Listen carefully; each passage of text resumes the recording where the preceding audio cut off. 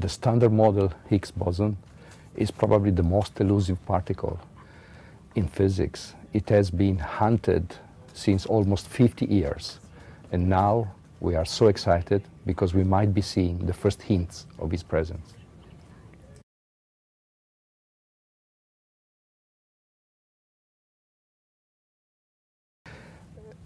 Clearly the most important uh, goal of this particular year is the search for the standard model Higgs boson. With five inverse femtobarn each experiment, we might be able to see the first hints of this elusive particle.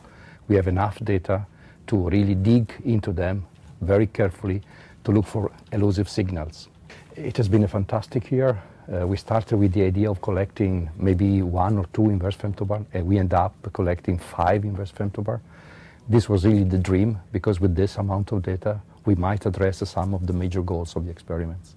We have analyzed very quickly the huge amount of data collected in uh, 2011, something like five inverse femtobarn of data. And uh, with this data, we know now that uh, we can exclude the presence of the standard model Higgs in a wide region of mass uh, from 600 GeV down to 130 GeV. We cannot exclude more at lower mass because we see excesses of events in the low mass region between 115 and 130. In addition, in this region there are excesses whose statistical significance is not large enough to claim that we have a discovery, but they're very suggestive of the presence of a standard model Higgs. I would say they are consistent with the presence of a standard model Higgs.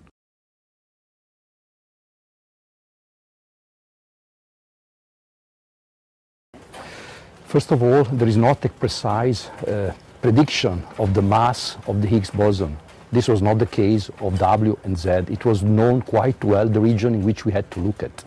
Secondly, the background conditions. For W and Z, in particular for the Z, the background condition was basically zero. There was nothing happening behind the, the signals that we were looking for. While for the Higgs boson, particularly in the low mass region that we are looking at in these days, Uh, the background there is very high.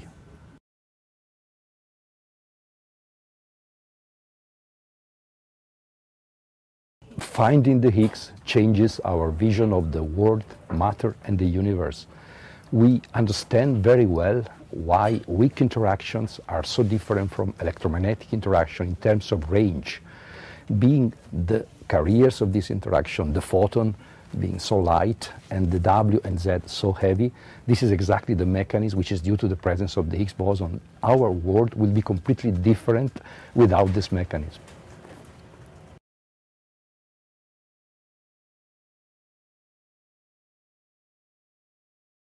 Uh, first of all, we have to uh, look into our data individually in a way in which is completely independent, one from the other, to avoid any kind of couplings between the two experiments. We have two completely different observations.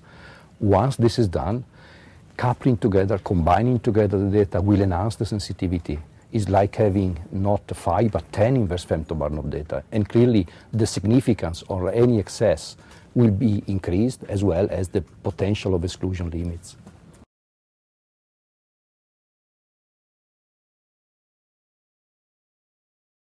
We miss additional data, analysis of additional data. We miss the combination with ATLAS and CMS results. We need the comparison, detailed comparison of what our friend and brother experiment ATLAS is seeing. And only after this work will be done, we might reach a conclusive statement.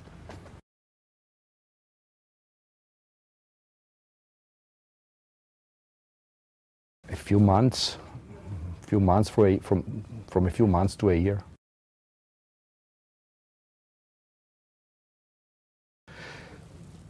Uh, knowing the mass, in particular, if uh, the standard model Higgs boson exists and it is at low mass, we have the need of new physics.